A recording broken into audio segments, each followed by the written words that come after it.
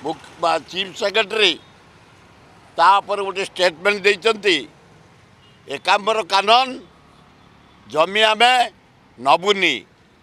Chief secretary ମହୋଦୟ ଜଣେ Odia retired କରିବେ ଆପଣ। ମିଡ଼ିଆ ଜରିଆରେ ମୁଁ ଜଣେଇ ଦେବାକୁ ଚାହେଁ। ଗୋଟେ ଇଡିକୋର ଅଛି M D C M D ଜଣେ ଅଣ ଓଡ଼ିଆ।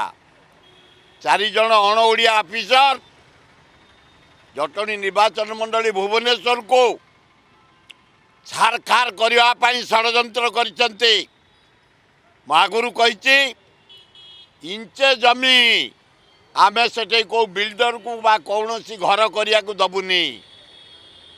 ଏବଂ ତା ସହିତ ଅନ୍ଧାରୁଆ ଚନ୍ଦକା ମେଣ୍ଡାଚଳ ବେଲପଡ଼ା ବଡ଼ତୋଟା ଜାମୁକୋଳି କନ୍ତିଆ ଆମର କୁମାର ବସ୍ତ ଇଏ ଯେଉଁ ଅଞ୍ଚଳରେ ଗି- ଗିରିଙ୍ଗାପୁଟ ଏ ଅଞ୍ଚଳର ଜମି ଜବରଦସ୍ତ ନେଇ ଶିଳ୍ପପତିମାନଙ୍କୁ ଇଡିକୋ ଜରିଆରେ ଦେବା ଛତାବର।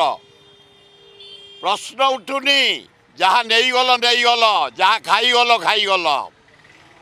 ନବୀନ ବାବୁ ତମ ନିଦ ଭାଙ୍ଗ। କ'ଣ ତମ କର୍ମଚାରୀମାନେ କରୁଛନ୍ତି ଟିକେ ଦେଖ? କିଭଳି ମୂଲ୍ୟବାନ ସମ୍ପତ୍ତିକି ନଷ୍ଟ କରିବାକୁ ଷଡ଼ଯନ୍ତ୍ର କରିଛେ ଦେଖ? ଏକାମ୍ବର କାନ ଦିନେ ତମେ ଯାଇନ। ବିନ୍ଦୁସାଗର କୂଳରେ ଗଣ୍ଡାଏ ଗଛ ପୋତିକି ବାରମ୍ବାର ଯାଉଥିଲ। ତମ ବାପା ଯାଉଥିଲେ ଏକାମ୍ବର କାନନ। ତମ ବୋଉ ଯାଉଥିଲେ। ତେମେ ଯାଇନ ଦିନେ। ତାକୁ ନେଇ ବିଲ୍ଡରକୁ ଦେବା ପାଇଁ ଯେଉଁ ଷଡ଼ଯନ୍ତ୍ର କରିଛ ବିରାଟ ବିପ୍ଳବ ହେବ।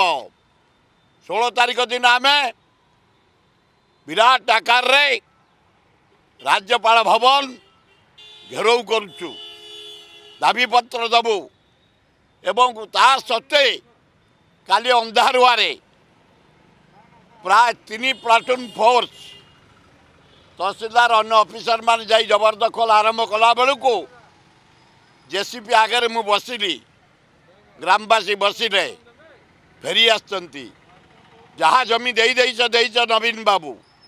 ଆଉ ଏ ସ୍ୱପ୍ନ ଦେଖନି।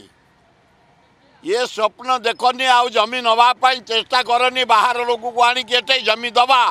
ବ୍ୟବସ୍ଥାରୁ କ୍ଷାନ୍ତ ହୁଅ। ତା ନହେଲେ ବିରାଟ ଆନ୍ଦୋଳନ ହେବ।